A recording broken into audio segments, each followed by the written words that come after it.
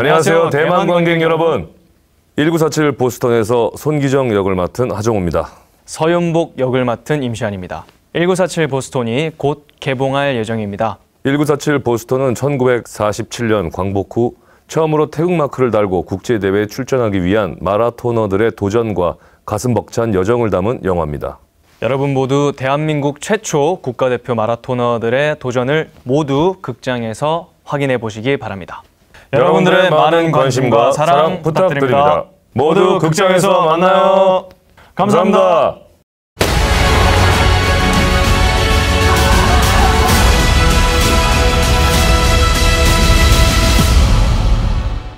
Der 1936 Gewinner der Olympischen Spiele in Berlin ist Son Kite. 기록은 일본에 기속돼서 조선은 공식 기록이 없답니다.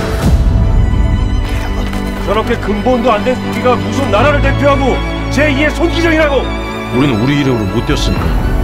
애기들은 자기 조국에서 자기 이름으로 뛰게끔 해줘야지. 저희가 원하는 것은 조국의 국기가 달린 유니폼을 입고 그저 달리는 것입니다